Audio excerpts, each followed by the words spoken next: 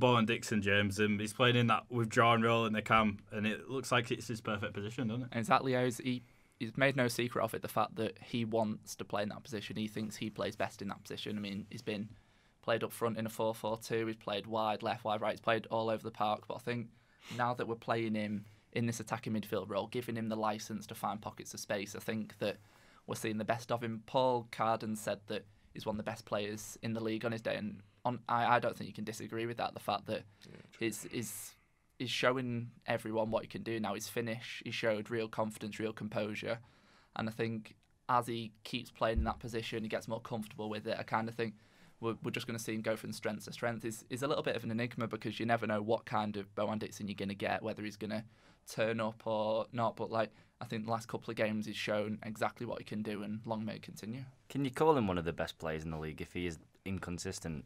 Well, I think I think the reason for the inconsistency is possibly because he's been moved around the positions quite a lot. It's it's not like he's been playing all the games on the left. He's had a game on the left, a game up front, a game further back, back on the left, back up front, back on the left. So he's not really.